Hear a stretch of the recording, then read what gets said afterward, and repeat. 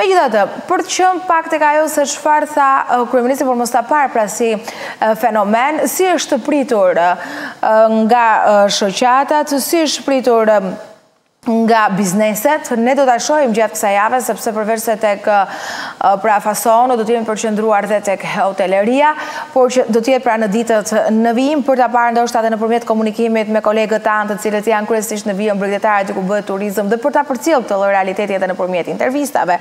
Por për momentin ne do të jemi me kryetarin e shoqatës Pro Export Albania është zoti Edvin Prençe. Përshëndetje zoti Prençe. Përshëndetje Miss Gjeta. Faleminderit që na bashkoheni sot. U duk i ashpër kryeministri në fundjavë për mënyrën se si bizneset i trajtojnë punonjësit. Çfarë lexuat në mesazhin e tij? Se ndoshta më duket mua i ashpër, mund të jetë një realitet i gjithëpranuar, s'e di. Patjetër isha prezent në takimin që zhvilloi kryeministri. Dhe mund të mendoj që përgjithësimi, përgjithësimi paçka se ai e specifikoi në vetvete dhe deklaroi që nuk janë nuk është gjithë sektori në këtë pikë. Por mendoj që gishti nuk mund t'u drejtohet vetëm të tjerëve, por këtu është e nevojshme një analizë gjithëpërfshirëse për të parë faktet dhe efektet që kanë dhënë të themi menaxhimi, keqmenaxhimi nga të gjithë aktorët, që kanë sjellë deri në këtë fazë dhe në këtë pikë situatën tonë. Pra, ka një të vërtetë në atë se çfarë tha kryeministri, por tani Kemi të bëjmë me një biznes i cili vihet me shpatulla pas murit dhe në pamundësi sepse shqetësimet ne i kemi parë, kriza ka prekur mjaft sektorë, mundësi për t'ia faturuar pikërisht biznesit dhe për ta hequr le të themi kursin politik që është ndjekur deri më tani, ju si e shihni? Atëherë po flasim për një sektor që të themi në të vërtetë dhe besoj se të gjithë jemi dakord është shtrirë në shumë vende të Shqipërisë dhe në zona rurale ku shteti, qeveritë, por as besoj edhe sektorë të tjerë nuk kanë pasur interes të shkojnë. Pra, mund të themi që është sektori që ka përfshirjen më të madhe të shtresës më vulnerabël të shoqërisë dhe në zonat më rurale të Shqipërisë. Duke qenë që Shqipëria nuk është një industri ose nuk ka një industri të zhvilluar të sektorëve të tjerë, për shembull të automatizmit. Duke qenë që ky sektor, pra sektori i manufakturës së veshjeve të këpucës, tashmë me 30 vite eksperiencë në një mënyrë në keq apo mirë ka mbajtur njerëzit në punë dhe të themi ka gjeneruar pse jo dhe të ardhur për ekonominë shqiptare dhe për punonjësit e tyre pa hyrë në hollësira për sa i takon pagesës, por mendoj që nuk mund të bëhet një përgjithësim dhe nuk mendoj që patjetër duhet bërë një analizë, por analiza duhet të jetë gjithëpërfshirëse, siç e thashë pak më parë, dhe nuk mund të përcaktohet dhe nuk mund të përveçohet në sektor në sektor të veçantë. Ajo çfarë lind ose më mirë të themi është për të parë. Pikërisht rritja e pagës është, të themi, është një detyrim në radhë të parë duke pasur këto rritje të kostove ditore jetike të njerëzve, por në këtë pikë nuk është faj i bizneseve, nuk është faj i njerëzve, i popullit, që këto rritje nuk janë monitoruar ose nuk janë ruajtur, të themi në njëfarë mënyre mbrojtur nga ana e qeverive, flas qeverive, dhe gjendemi në këtë pikë që çfarëdolloj page të marrin punonjësit, prap jetesa është shumë e vështirë, Dhe e, në fund të ditës njerëzit do të bëjnë llogarinë me laps e me letër për të mbijetuar. Të njëjtën gjë po ndodh dhe me bizneset, sidomos në sektorin tonë, duke pasur parasysh që ka nuk ka nuk është e mbrojtur të themi si eksportues për sa i takon kursit të këmbimit në radhë të parë. Nuk është e mbrojtur Made in Albania në krahasim me vendet e tjera ballkanike dhe nuk ka një agresivitet për të promovuar këtë sektor në Europë dhe në botë, ashtu siç ndodh në Maqedoni dhe Serbi. Pra, po flasim për një sektor që deri sot ka mbijetuar dhe ka sakrifikuar vetëm vetveten. Flasim për një sektor që në fund të ditës qeveritë nuk kanë bërë, përsëris qeveritë, nuk po marr uh, shembullin e qeverisë aktuale, por të gjithë qeveritë nuk kanë pasur politika zhvilluese dhe strategji zhvilluese të sektorit tonë, dhe po flasim për një sektor që ka mbi 75.000 të punësuar, po flasim për një sektor që mbulon rreth 40% të eksportit Made in Albania. Atëherë, përderisa këto uh, elementë kanë munguar uh, përjetësisht të që në hapjen e demokracisë dhe në zhvillimin e bizneseve, nuk mund të drejtohet dhe nuk mund të orientohet një gjë e tillë vetëm tek sektori jonë. Duke pasur parasysh që edhe pagat në shtet ndër vite, po të bëjmë një analizë analitike, pak a shumë jemi në një trend të ngjashëm. Pra, nuk është se kemi ore paga e një punonjësi shtetëror është x lek edhe ju jeni shumë më ulët. Diferencat kanë qenë minimale dhe vazhdojnë të jenë minimale. Dhe Prenqe, nëse ju pyes, se sa është numri i të punësuarve aktualisht, ose çfarë përqindje zë ky sektor, ka një përgjigje për ta, edhe ndoshta për të bërë një krahasim, si ka qenë, si është, sepse Në dijenin time ka të falimentuar? Atëherë, sektori, siç thashë pak më përpara, ka mbi 75.000 të punësuar, mm -hmm. mund të përtej bujqësisë, që është një sektor që nuk arrihet të kontrollohet ose dhe të menaxhohet për të parë punësimet. Mm -hmm. Mund të themi që jemi sektori i parë privat që ka këtë, të themi këtë punësim kaq të madh. Dhe përtej kësaj, siç thashë pak më parë, ka 20% gjithë eksporteve në Made in Albania. Patjetër që ka me rritjen e pagës tashmë minimale, përtej falënderimeve për mbështetjen edhe pse minimale, por për mbështetjen që po jep po qeveria, përsëri kthehemi te ky efekti që ne po fillojmë të mos jemi më konkurrueshëm në, në favor të vendeve europiane, pra ka shumë brende të huja europiane që po orientohen drejt vendeve të tjera, sepse nuk jemi më kompetitivë me çmimet tona duke pasur parasysh këtë rritje të kostove pothuajse mujore që ndodhin në vendin tonë.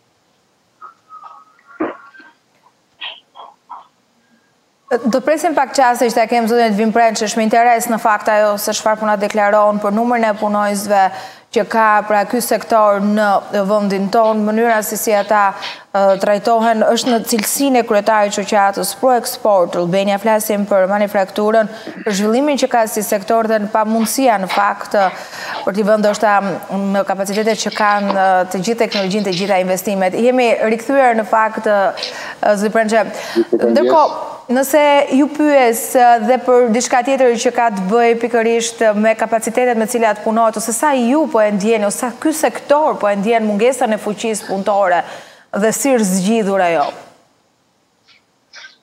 Mungesa e fuqisë punëtore patjetër që është indikator ose të themi një element shumë i rëndësishëm për sektorin tonë. Mhm. Paçka se janë bërë të mundur dhe bizneset kanë tentuar gjithmonë të bëjnë investime inovative dhe për të automatizuar proceset, por prapë përsëri në fund të ditës ke nevojë për kapitalin human, që është pjesa elementi më i rëndësishëm. Përtej kësaj, ajo çfarë unë mund t'ju them që ka filluar të ndihet problematika siç thashë pak më para të konkurrueshmërisë dhe sektori i këpucës Mund t'ju them sot që është ndër sektorët e parë që ka një frenim ose një ndalim të themi të produktivitetit. Kjo edhe përsëri për shkak edhe të kostove që janë rritur, por edhe një problematikë në nivel evropian që ka rënë shumë fuqia blerëse, Dhe si e tillë, po fillon të ndihet kjo problematikë. Patjetër, duke u vazhduar me pyetjen tuaj, është shumë e rëndësishme që ky sektor të ketë një zhvillim dhe një mbështetje ose një strategji zhvillimi, po. sepse në këtë fazë dhe në këtë mënyrë që kemi filluar që në vitet 90 dhe po vazhdojmë edhe sot, pa një politikë zhvilluese dhe një strategji të eksporteve, patjetër do fillojë të ndihet ngadalësimi mhm. dhe së fundit fare të dhënat e INSTAT për muajin shkurt e, e treguan këtë gjë sepse ka rënë sasia, por është rritur vlera. Dhe mhm. vlera do thotë që është rritur vlera e lëndës së parë, e jo vlera të themi në vetvete e eksporteve shqiptare. Pra që këtu fillon të themi termometri i biznesit tonë është shumë i thjeshtë për t'u perceptuar, mjafton të merren të dhënat të hyrjeve dhe të daljeve sepse është sektori më i kontrolluar që ekziston në Shqipëri, duke qenë 100% eksportues, dhe ju them që në të dhënat e fundit ne jemi ulur me vlerat e sasive prodhuese drejt vendeve botërore edhe europiane. Ndërkohë, ju më herët, po në një komunikim që kemi patur së bashku, më keni thënë, keni folur edhe me shifra për mungesat që ka sektori. A. mund t'i sjellim në vëmendje, ndoshta ka ndryshuar diçka, sepse u bënë nja dy muaj që kemi patur komunikimin së bashku.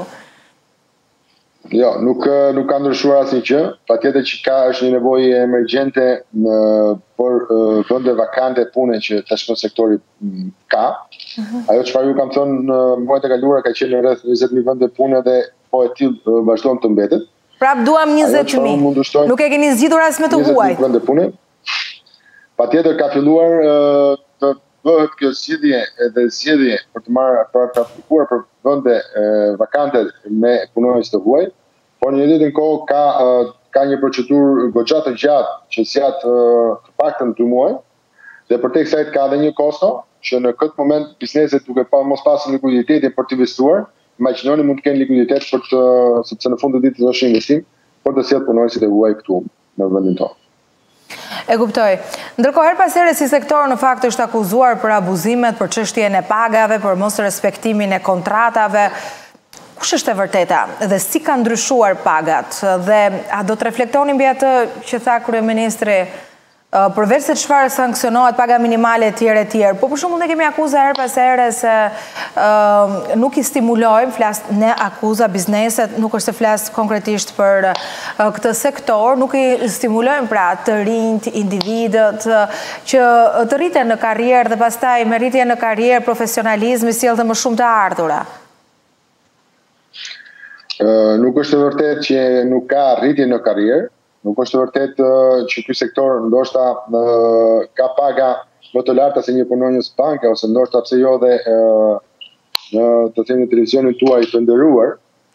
Por jo, kjo të, të mos e vë bast se mendja të mos mos pasur jo, për të mos pasur, duke mos pasur as të themi form, formimin shkollor adeguat, por thjesht me po praktikën dhe me vitet eksperiencës dhe me vitet e eksperiencës që ato kanë në, në vendet e punës, patjetër që kanë një rritje në graduale, Por mos të harrojmë që jemi në një ekonomi tregu dhe produktiviteti është domethënia e çdo fjale dhe çdo në fund të ditës dhe në fund të muajit e pagesës që çdo punonjës dhe çdo person merr. Dhe duke qenë e tillë, nuk mendoj që ka më këto trende që ka ngelur besoj fabula, ka ngelur tabu të pagës të pjesë një pjesë të pagës që kthehet mrapsh ose trajtimet e tjera. Patjetër që është një në objektivat tona dhe të themi formimi i tashmë i kontratës kolektive, e cila do bënte kornizën e mundur, kornizën ligjore, por edhe informative për të gjithë punonjësit në bazë të proceseve të punës, siç e ka gjithë bota, dhe mendoj në këtë mënyrë do kishte do ishte e mundur të evitoheshin gjithë këto problematika, por në fund të ditës çdo palë, duke qenë si punëmarrësit dhe punëdhënësit, të merrnin përgjegjësitë në bazë të kontratave që firmosen midis palëve. Pra, në ditën e sotme ne kemi kontrata pune që nga ana e biznesit respektohen, por nga ana e punonjësve të themi në shumë raste, në shumicën e rasteve nuk respektohen të themi kohët për dhënien e dorëheqjes e shumë e shumë efekte të tjera dhe në fund të ditës i bie që punëtori ka gjithmonë të drejtë dhe biznesi në fund të ditës është ai që është në faj. Prandaj është e nevojshme një riformatim si ligjor, po edhe kontrate kolektive, pikërisht për të bërë kornizën dhe për të evituar këto problematika që kanë ndodhur ndër vite dhe vazhdojnë të ndodhin. A është biznesi fajtor ndër vite në Shqipëri për largimet masive të shqiptarëve? Unë mendoj biznesi ka bërë të pamundurën, ka bërë të pamundurën, patjetër që kanë qenë periudha të, të ndryshme kohore dhe janë respektuar të themi dhe pagat minimale të momenteve. E fundit fare që edhe kryeministri tha është pikërisht kjo sepse Mali i Zi, të marrim një shembull, pati një rritje të frikshme të pagës minimale dhe sot gjendet në një problematikë shumë të madhe dhe një borxh publik që është rritur goxha.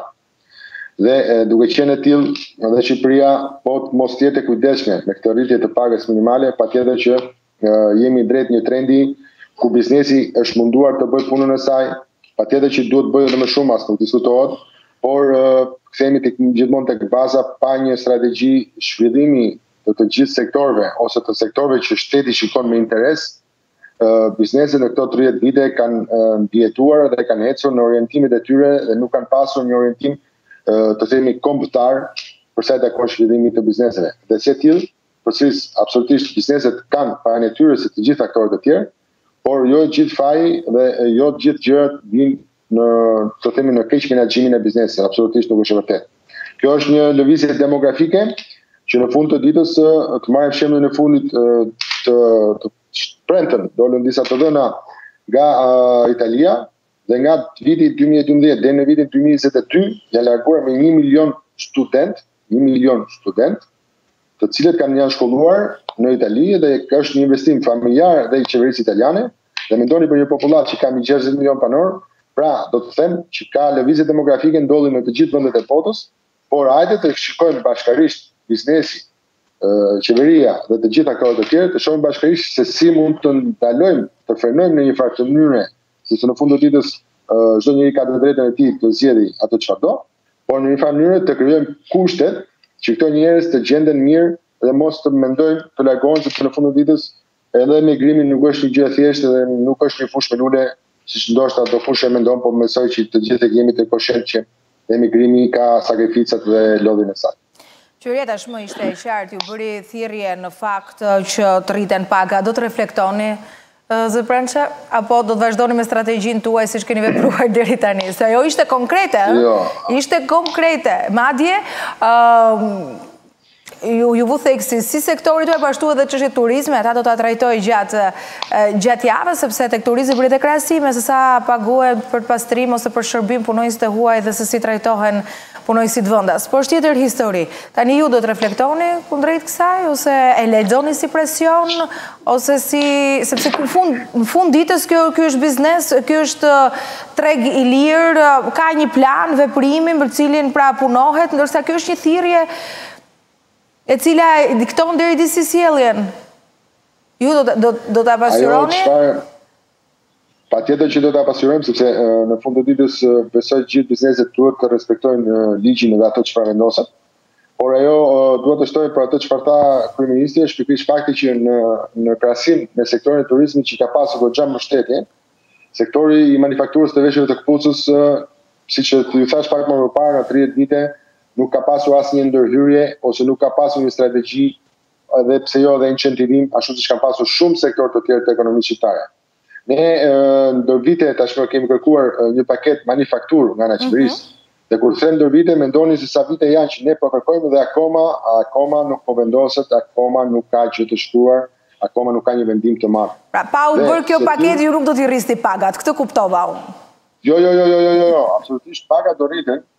Por pa u bërë të themi një strategji shpirtimi, pa u incentivuar bizneset të rriten dhe të kalojnë në ciklin e mbyllur, mhm. më besoni që patjetër që ky biznes do ketë jetën shumë të shkurtër dhe do kthehet në bumerang për shtetin në radhë të parë sepse përgjegjësia do bie mbi shtetin, në rast se bizneset fillojnë të mbyllen edhe këto njerëz kush do t'i përthithë. Nuk kemi një turizëm 365 ditë, nuk kemi një industri tjetër të zhvilluar dhe nuk mund të shkojnë në zonat rurale ku ne jemi. Pra hajde të bëjmë një analizë të gjithëpërfshirëse dhe të gjithanshme.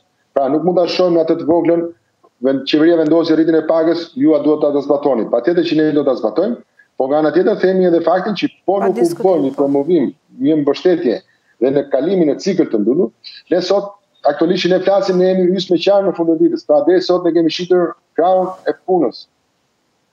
Zonjë e nderuar, ne kemi shitur krahun e punës.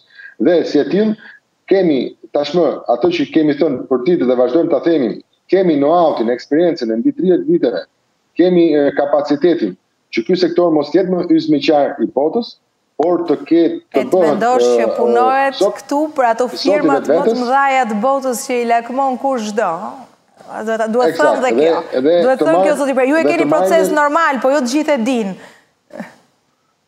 Dhe të marrim të marrim një shembull për një xhaketë, ndoshta edhe për xhaketën që ju keni veshur. Uh, jo, s'është nga ato, jo. Është e thjeshtë.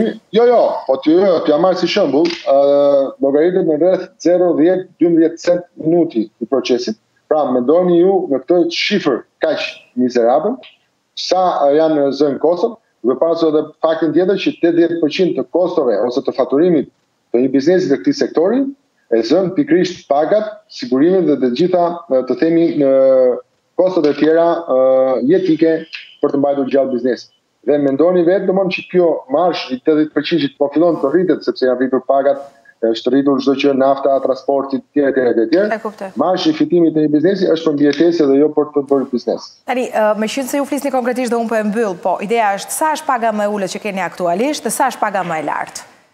Se na dëgjon ndonjë mund jetë interesuar, se ju na sfiduat. Patjetër. Po lëm xhaketën këtu, po vim, po punojmë atje. Batutë, unë, po. unë atë çfarë them edhe me të dhënat istë, të themi që ka Ministria e Financave, edhe që u shpreh në një takim që ne kemi pasur në shumë, ta, në shumë takime që kemi pasur me ministrin e Financave, sektori jonë në, në ka me pagë minimale në rreth 20%. Pra, vetëm 20% e sektorit është me pagën minimale. Flasim me 34 mijë lekë. Po. Pra, mesatarja e sektorit tonë varion në rreth 38, 37, 38 mijë lekë neto. Pra, pjesë pa duke zbritur pjesën e sigurimeve, duke zbritur të gjitha taksimet po. e tjera. Dhe patjetër që mesatarja duke marrë parasysh mbi 75 mijë punonjës, besoj që është një mesatare përqa që është rritur ndër vite dhe sidomos vitin e fundit. E kuptova. Të përgjë, unë të falënderoj që m'u bashkove sot në MCN live, si gjithmonë është kënaqësi komunikimi me ju, jo vetëm për shifra, por edhe për optimizmin dhe për realitetin që përcillni, për një sektor i cili për hir të së vërtetës është i paragjykuar, sepse ne e shohim nga mënyra se si protestojnë një pjesë për hir të së vërtetës e atyre që punojnë në fason, se si ankohen për çështjen e kontratave kolektive, ndërkohë ju sillni një tjetër realitet duke parë ndoshta në atë se çfarë realisht përfaqëson për vendin tonë dhe kjo është interesante për ta njohur edhe atë pjesën ndryshe. Kështu që faleminderit, besoj t'ju kem sërish në komunikim. Faleminderit ju për ftesën dhe patjetër është kënaqësi gjithmonë në televizionin tuaj të nderuar që shprehni në çdo moment realitetin dhe nuk merrni me llafe. Faleminderit shumë. Ditë të mbarë. Faleminderit.